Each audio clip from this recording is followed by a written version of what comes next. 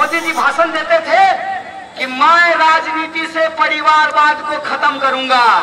तो हम मोदी जी को कहना चाहते मोदी जी थोड़ा माई गिरिया आप अमित शाह को भाजपा से निकाल बाहर कीजिए, तब हम आप समझेंगे कि आप सच बोल रहे हैं। नमस्कार, आप लाइव सिटीज़ देख रहे हैं, मैं हूँ गरिमा भारती।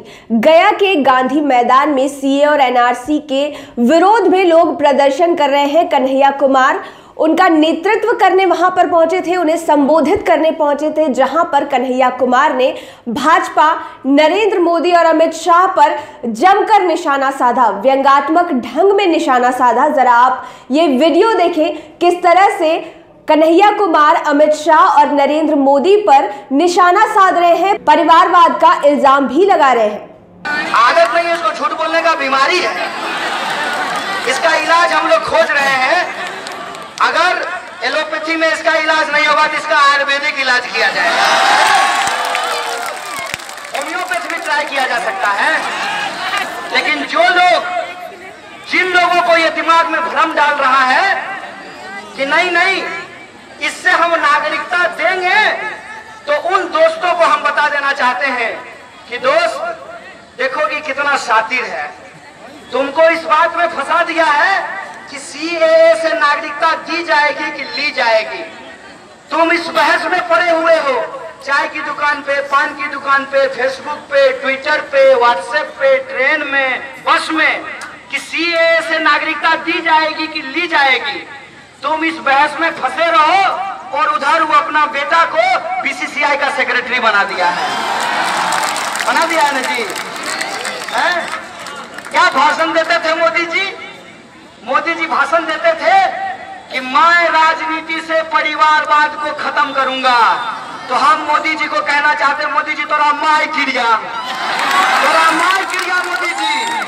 तो ये तोरा पार्टी में, आपके पार्टी में जो ये परिवारवाद हो रहा है, अमित शाह जो अपने बेटा को बीसीसीआई का सेक्रेटरी बनाया है, आप अमित शाह को भाजपा से निकाल बाहर कीजिए, तब हम आप समझेंगे कि आप सच बोल रहे हैं बार ये होता है कि अच्छा भाषण जो लोग देते हैं ना, लोग अपना दिल उनको दे देते हैं। तो मोदी जी का जो समर्थक लोग है, उससे हमको कोई दुश्मनी नहीं है। बस उससे हम एक बात कहना चाहते हैं। देखो, मोदी जी तुम्हारा दिल ही चुराए हैं ना। दिमाग है तुम्हारे पास। बेटी बना सके, मंत्री बना सके, नेता बना सके और आप अपने भविष्य के लिए अपने बच्चों के लिए इस ठंड में अपने बच्चों को वोट पे लेकर के आपको सड़क पे जाकर के आंदोलन करना पड़े। इसीलिए मैं आप तमाम नीतीश जी, केरल की विधानसभा की तरह बिहार विधानसभा में भी ये रेजोल्यूशन पास करें कि बिहार में एनपीआर एनआरसी और सीएए लागू नहीं होगा।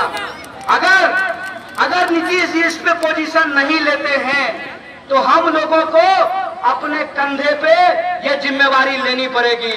और सरकार को ये बताना पड़ेगा कि यह सरकार, अगर तुम हमको नागरिक नहीं मानते तो हम तुमको सरकार नहीं मानते।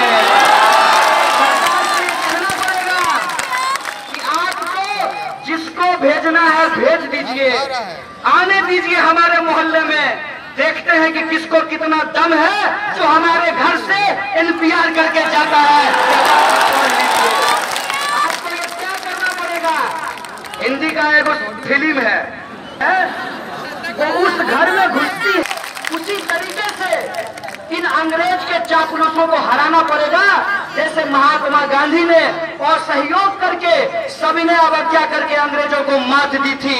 हम गांधी को मानने वाले लोग हैं। इन गोडसे के चेलों को एनपीआर को नहीं मान करके मात देंगे। ये बात अपने दिमाग में डाल लीजिए इसीलिए पूरे बिहार में इस आंदोलन का अलग जगाने के लिए जो आने वाला 30 जनवरी है जिस दिन हमारे बापू को शहादत दी, दी गई जिस दिन हमारे बापू की हत्या की गई जो बापू का बलवी है चंपारण वहाँ से हम लोग एक यात्रा शुरू करने जा रहे हैं।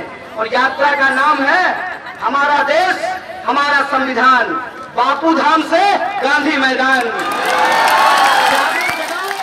देश बचाओ यात्रा ये जो जागो जगाओ, देश बचाओ, यात्रा है। उसके तहत बिहार के एक एक ज़िले में जाएँगे और अपने बिहार की माँ बहनों को, भाइयों को, बुज़ुर्गों बताएँगे कि ये देश को तोड़ने वाले लोग हैं। अगर इनको हराना है तो आपको ये संकल्प लेना होगा कि हम एनपीआर, एनआरसी और सीए को हराएँगे, देश का तिरंगा और संविधान को बचाएँगे। साथ ही साथ हमारे लिए जो बिहार का सबसे बड़ा सवाल है, वो ये है कि हमारे बिहार के लोगों को बाहर जाकर के नौकरी के लिए धक्का क्यों खाना पड़ता है? क्यों हमारे अस्पतालों में ठीक से हमको इलाज नहीं मिलता है? क्यों जो हमारे सरकारी कर्मचारी हैं, उनको समय पे वेतन नहीं मिलता है? क्यों उनका पेंशन छीना जा रहा है? क्यों किसानों को उनके फ़सल का दाम नहीं मिलता है?